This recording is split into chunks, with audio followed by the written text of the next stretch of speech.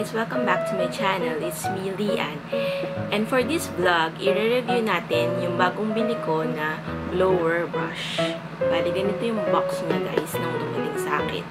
I order it from a Facebook uh, shop.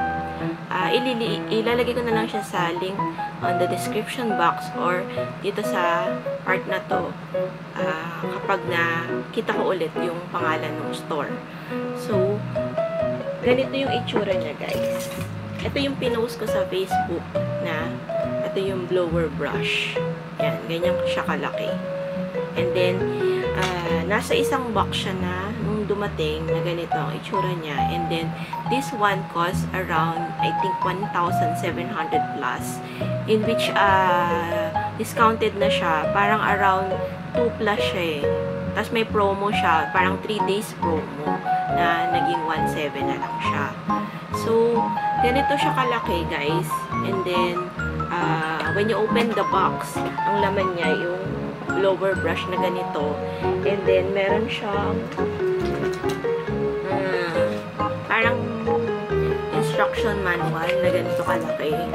And, so guys, uh, yung reason why I decided to buy and try this uh, blower brush was every morning, ang ginagawa kong routine is uh, since yung hair ko is uh, hindi siya natural na straight, medyo wavy siya or curly uh, despite na nagpapariband ako. So, ang una kong ginagawa every morning para lang siya ma-straight is I do the blower. This one is a Philips blower. So, yan. Binoblower ko muna yung hair ko. And then, after that, since uh, may mga part ng hair ko na kapag blower mo is meron pa rin siyang wave or uh, medyo curly pa rin siya, uh, ginagamit ko yung uh, plancha. This one is an Ionic Pro na plancha na pwede mo rin siyang gawing pangkulot. Uh, pero, if you open this tool, yan, pwede mo siyang gawing plancha. So, pinaplansya ko every morning yung uh, hair ko, in which time consuming siya kasi, uh, una, mag-blower ka and then magpa-plancha ka. And then, if you want na uh, magkulot pa, I'm using this uh, Ionic Pro uh, na pangkulot and pang plancha. Para siya kasing 2-in-1 guys eh. Or, ito yung my all-time favorite na Baby Bliss na pwede mo siyang pangkulot. So, masyado siyang matagal. So, I decided na itry itong uh, blower brush na sabi nila uh, pwede ka na mag-style while blowering or blow drying your hair. So, I'm gonna try this one.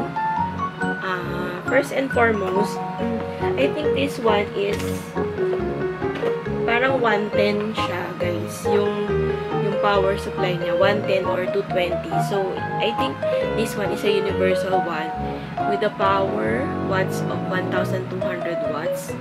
And then, uh, so, bali guys, nung trinay kong gamitin tong blow, blower uh, hair brush or blower brush kahapon, una, hindi ko alam kung paano siya i-open. Nung sinaksak ko yung guys, yung uh, socket niya. And then, uh, meron dito kasi guys din na mga iba-ibang options. So, meron ka ditong low, ay off, low, middle, high. So, yan guys.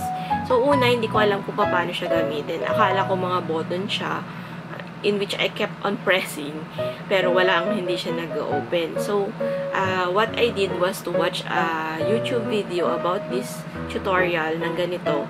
So, nalaman ko na i-twist mo to.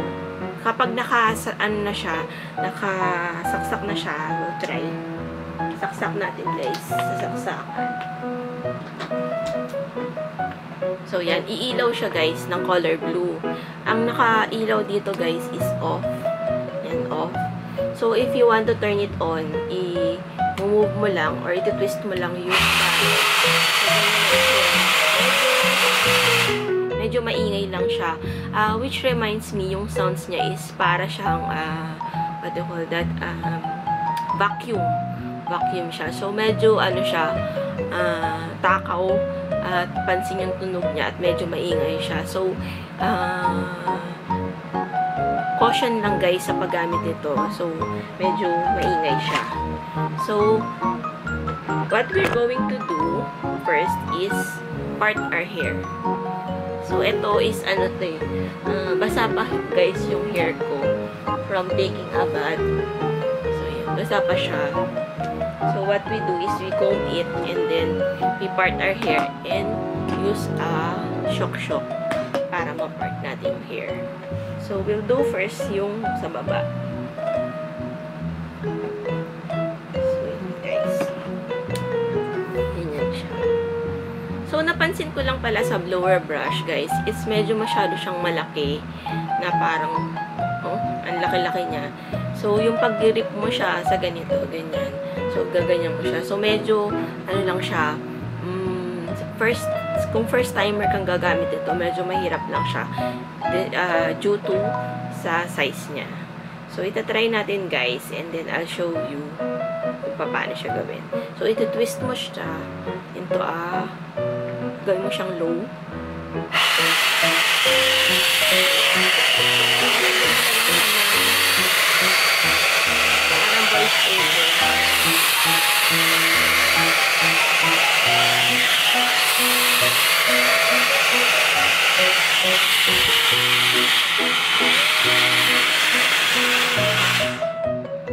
Guys, uh, meron siyang iba-ibang options like high, middle, and low. So if you want na yung usok siya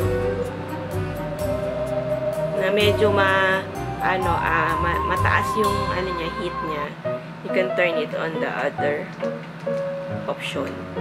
So meron kang low, middle, high. So, yan guys.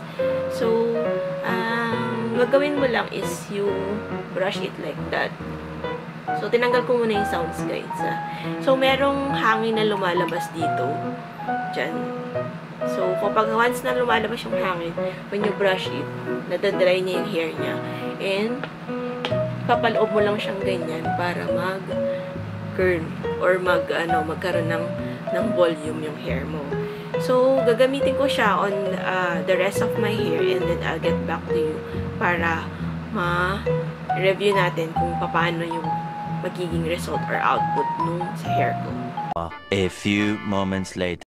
So, yan guys, we're done uh, blow drying our hair using the hair blower. So, I think it only took mga around uh, 5 minutes or 7 minutes para i-blower or or less than pa ng 5 minutes yung hair ko.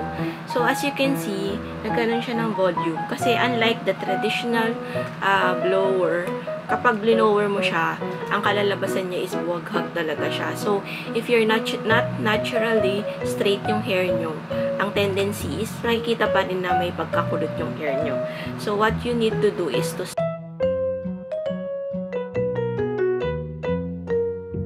hair uh, blower, uh, kaya mo na siyang ipapaloob na pag ganun eh, guys, pag ganyan, habang binoblower.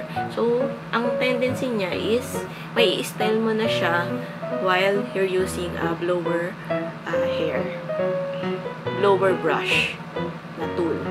So, so unang, una guys na napansin ko sa blower brush is sobrang laki niya. So, I was wondering bakit hindi ganito kaliit yung barrel niya or yung brush niya para mas madali siyang i-manipulate or i-maneuver. So, nais naisip ko while I'm using this hair blower is ang tendency kasi guys ng ganito kapag nagmamadali ka is napansin mo napa, ay, napansin ko is One eternity later. Ang dahilan kung bakit nila uh, nilakihan yung mismong parang brush niya is kung ganito siya kalaki guys, if you're using this one and uh, imagine niyo na meron din siyang air na luma air na lumalabas. Ang tendency kasi ng ganitong barrel guys is prone siya sa pagkasabit-sabit. So much later that the old narrator got tired of waiting and they had to hire a new Actually guys, last time nabuhol na yung buhok ko dito eh. So, um, nung nabuhol siya ng ganon, hindi ko siya matanggal, what I did was to cut part of my hair dito banda eh. So, na actually, nag-grow naman na siya. Pero before, parang ganito na lang kalaki yung natirang hair. So, mas prone yung ganito kaliit na magkabuhol-buhol. So, this paddle size brush is uh, better siya kasi, ano siya, eh, pag iglinide mo siyang ganyan, uh, mas less yung tendency na magbuhol-buhol. Yun nga lang, medyo mahirap lang siya i-maneuver kasi medyo malaki. Pero, what you can do, kung medyo tamad kayo, uh, pwede mo siyang i ganyan lang, i-brush mo lang siya. So, kusa na siyang matutuyo and then, you can style your hair uh, sa bottom part niya. So, pa, pwede mo na siyang papasukin. So, magkakaroon na siya ng volume. So, uh, I think this tool is very uh, useful lalo na kung nagmamadali ka every morning and uh, ayaw mo naman pumasok sa, sa office or mag, meron kang lakad na medyo walang ka-style-style or walang ka-volume-volume yung hair mo. So, this one is good na gamitin mo na siya uh, on, a, on a wet or uh, towel-dried hair. So, in less than 5 minutes or 5 minutes, uh, magkakaroon ka na ng uh, maayos na hair or uh, may style na yung hair mo. So, after blow drying my hair, I'm going to use my Ricky Reyes Vitamin Booster. So, this one, uh, sinadjust to ng stylist nung when I did blow dry, dry my hair in their salon. So, spray mo lang siya guys na ganyan. But make sure na and shinik mo siya very well. Para yung mga product niya is well mixed. So, you spray it on your hair para hindi siya dry. Tsaka yung medyo may vitamins yung hair mo. Guys, um, based on my review for this blower brush, this one is a promising tool. Uh, I think what I can suggest you is to buy uh, this kind of tool. Yung medyo ano na siya, uh, trusted na site. Uh, don't buy in the Shopee kasi ang tendency ng mga sa Shopee na medyo mura lang is uh, umuusok siya at madali siyang maka-cause ng mga fire or accident. So, that's it guys. I hope you enjoyed this video. Give it a thumbs up and I'll see you on my next upload. Bye!